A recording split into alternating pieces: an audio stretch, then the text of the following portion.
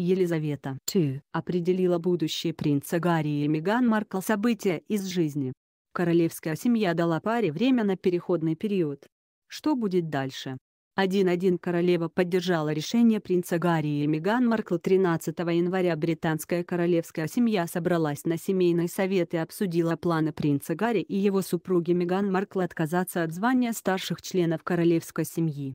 Переговоры, в которых участвовала королева Елизавета, 2, начались в 14 часов, 17 часов по московскому времени.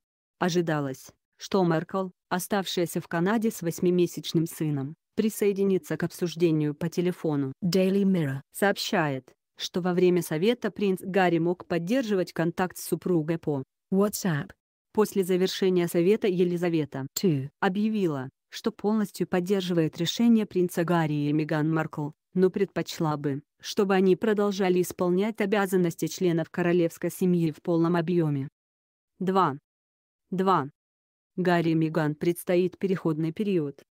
Окончательное решение о будущем принца Гарри и Меган Маркл будет принято в ближайшие дни. В заявлении королевы утверждается, что в течение переходного периода они смогут жить в Канаде и Великобритании.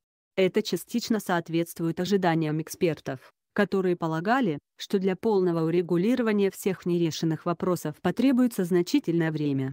Перед переговорами Daily Mail писала, что члены королевской семьи намеревались предупредить принца Гарри, что он сможет сложить полномочия и уехать в Канаду лишь через несколько месяцев.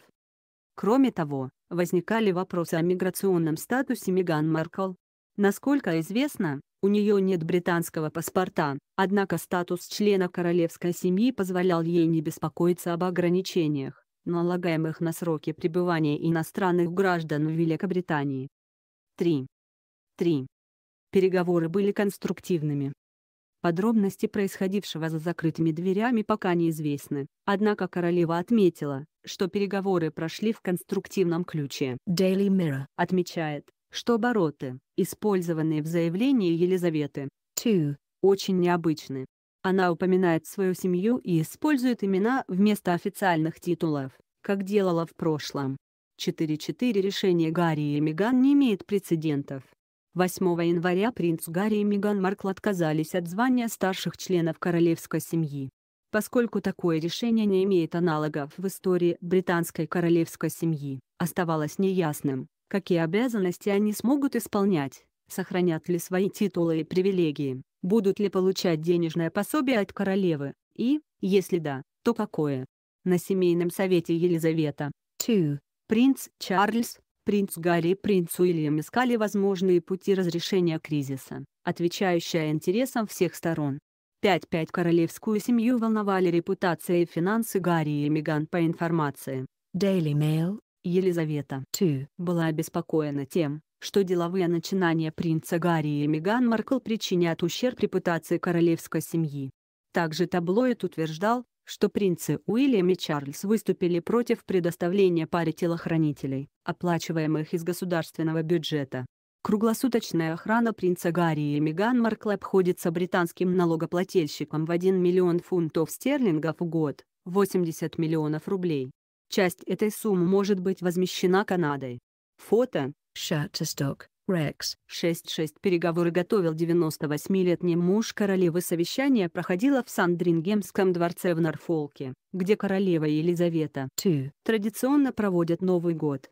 По информации, Daily Mail в его подготовке активно участвовал муж королевы, 98-летний герцог Эдинбургский Филипп, не одобривший решение принца Гарри и Меган Маркл, он отказался от участия в переговорах и покинул дворец незадолго до прибытия участников.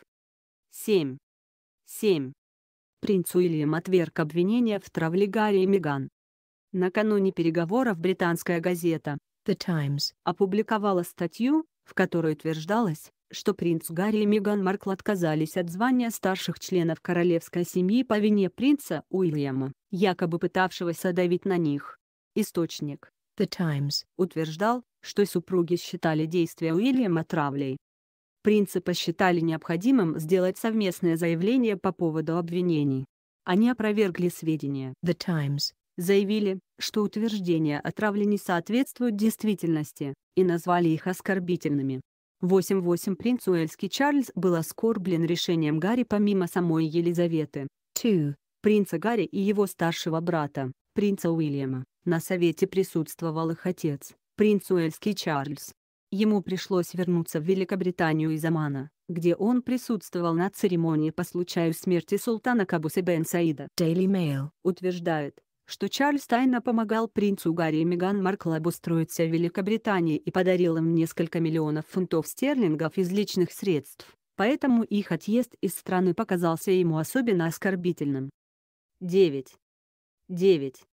В случае неудачи Гарри и Меган могли пойти в банк По информации Daily Mail. Советники Елизаветы 2. опасались, что в случае неудачи на переговорах принц Гарри и Меган Маркл могут дать разоблачительное интервью своей хорошей знакомой американской телезвезде Апри Уинфри. В нем они могли обвинить британскую королевскую семью в сексизме и расизме. 10. 10. Меган Маркл возобновит актерскую карьеру. В заявлении принца Гарри и Меган Маркл утверждалось, что они планируют отказаться от финансирования из госбюджета и обрести финансовую независимость. Маркл уже вернулась к работе и занялась озвучиванием мультфильмов. Disney. Вырученные средства перечисляются на счет благотворительной организации «Слоны без границ», Elephants Without Borders. которая занимается защитой животных от браконьеров. Фото Chris Jackson. Getty Images. 11.11 Гарри и Меган зарегистрировали собственный бренд о других предпринимательских инициативах принца Гарри и Меган Маркл можно судить по заявке, которую они подали во Всемирную организацию интеллектуальной собственности. WIPO. В декабре супруги приступили к регистрации торговой марки. Sussex Royal. Ранее такое сочетание слов использовалось в названии сайта и аккаунта. Instagram. Гарри и Меган, носящих титулы герцога и герцогини Сассекских. Теперь они намерены выпускать одежду и обувь с таким брендом, оказывать образовательные услуги, заниматься благотворительностью. Всего в торговой марке указано 6 областей применения. Эксперты оценивают потенциальную стоимость бренда Sussex Royal. в 400 миллионов фунтов стерлингов, 31,8 миллиарда рублей. В Европе принцу Гарри и Меган Маркл придется защищать ее от посягательств нечистоплотных дельцов. В январе некий Феникс Кербл UI Phoenix Curb. из Италии подал в Организацию интеллектуальной собственности Европейского Союза собственную заявку на регистрацию торговой марки, Sussex Royal. распространяющейся на одежду, туалетные и спортивные принадлежности, игрушки и спиртные напитки.